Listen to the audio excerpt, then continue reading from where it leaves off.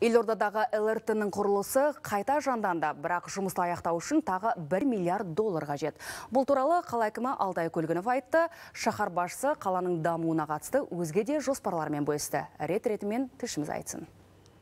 Есеп беруге келген елорда әкімі алдымен ЛРТ құрылысының қайта жанданғанын хабарлады. Сақалды құрылысқа қайтадан техникалық сараптама жасалған. Қазір конкурстық рәсімдер жасалып, несие беретін банктер таңдалып жатыр. Активная работа будет. Қосымша қаржыландыру көлемін тартқан кезде жұмыс белсенді басталады. Бастапқыда 2,6 миллиард доллар болған. Біз оны 800 миллион долларға төмендеттік. Қазір жобаны аяқтау үшін шамамен 1 миллиард доллар қажет. Сыртқы қарыздарға конкурс жарияладық. Қаржыландыру көздерін іздеу жаздың соңында аяқталады. Қалада көп талаңдатқан мәселенің бірі газ тарту жұмысы. Елорданы көгілдір отынға қосу жоспардан кешігіп жатқан жақында мемлекет басшысы да сынғалған.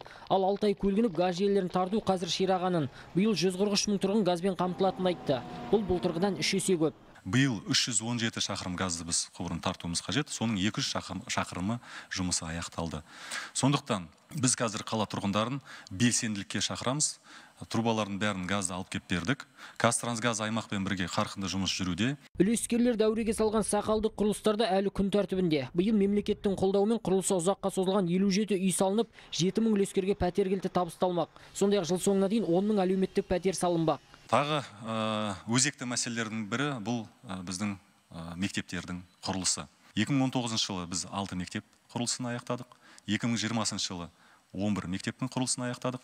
Ал биыл 40 мың орынға 15 мектепті салып жатырмыз. Алтай Көлгінов алдағы оқу жылы дәстүрлі форматта өту үшін мұғалімдер екпе алу керек екенін еске салды. Қазір педагогтардың 60 пайыздан астамы вакцина салдырған. Халықты вакцинаға ынталандыру үшін пәтер көлік, ал апта сайын екі айфон ойнатылмақ. Біз белсенді вакцина жүргізіп жатырмыз. Осы үнді штамы, дельта штамы келгелі бері азаматтар түсіне бастады.